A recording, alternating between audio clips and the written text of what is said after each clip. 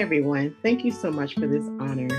Um, thank you to NAFSA, Region 7's leadership team, and those who put my name forward for this recognition. It's something that I wasn't expecting, but I really do appreciate it.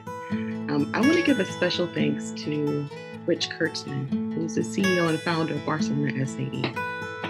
Rich gave me the space to innovate and supported Todos, the outcomes based diversity outreach strategy from day one. Along with our executive team, Kristen, Darcy, Elena, and the entirety of the Barcelona SAE staff in Spain and in the USA. This work cannot be done alone. Everyone on our team has contributed to the success of this program, including our institutional partners and our students. So thank you.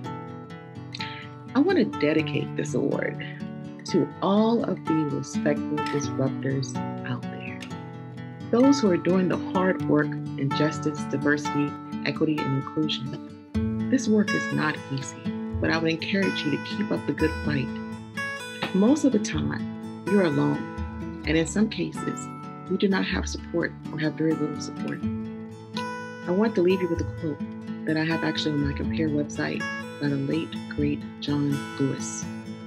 He said, Do not get lost in the sea of despair. Be hopeful. Be optimistic. Our struggle is not a struggle of a day, a week, a month, or a year. It is a struggle of a lifetime. Never, ever be afraid to make some noise and get in good trouble, necessary trouble.